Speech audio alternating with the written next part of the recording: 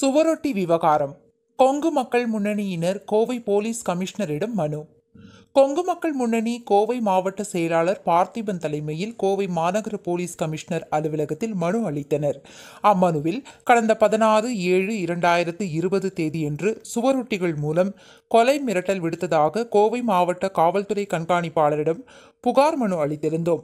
இந்நிலையில் சிங்காநல்லூர் பகுதியில் அகில இந்திய மல்லர் எழுச்சி பேரவை என்ற அமைப்பினர் எங்களது சுவரொட்டியை மறைத்து சுவரொட்டி ஒட்டியதோடு அது தொடர்பான காணொலியும் ஃபேஸ்புக் பக்கத்தில் பதிவிட்டுள்ளனர். இதனால் ஜாதி மோதல்களை உருவாக்கும் வகையில் செயல்படும் அகில இந்திய மல்லர் எழுச்சி பேரவைத் தலைவர் மனுநீதி சோழன் மீதும் அதன் நிர்வாகிகள் மீதும் உடனடியாக நடவடிக்கை எடுக்குமாறு கேட்டுக்கொள்கிறோம்.